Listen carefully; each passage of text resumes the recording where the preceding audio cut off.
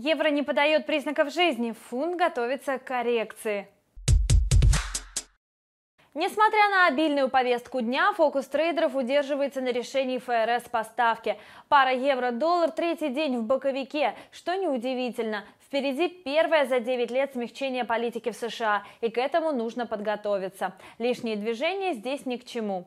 Под занавес вчерашней сессии котировки остановились на уровне 1.1155.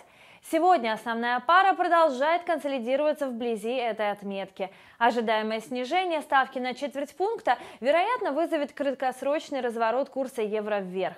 Пока ясно одно – реакция на новость о ставке будет эмоциональной. Между тем, еврозона продолжает публиковать преимущественно слабые данные. Инфляция в регионе замедлилась в июле и не дотянула до прогноза рынков. Экономика расширилась на 1,1% в годовом выражении. Показатель хуже предыдущего, но лучше ожиданий экспертов, которые предполагали увидеть подъем на 1%.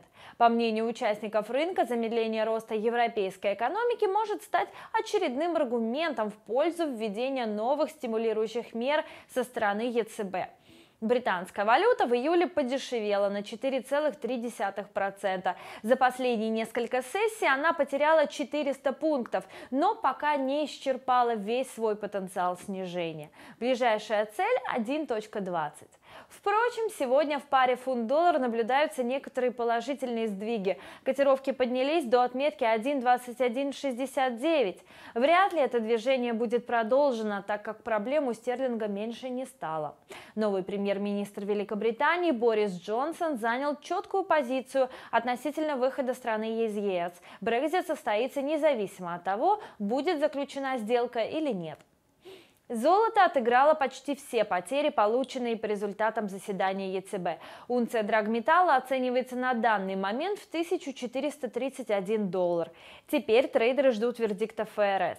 Реакция рынка во многом будет зависеть от текста заявления Комитета по операциям на открытых рынках и от комментариев Джерома Пауэлла, поскольку сомнений в снижении ставок у трейдеров больше нет. Подписывайтесь на наш YouTube-канал, чтобы всегда быть в курсе всех свежих событий на финансовых рынках. Удачной вам торговли! До свидания!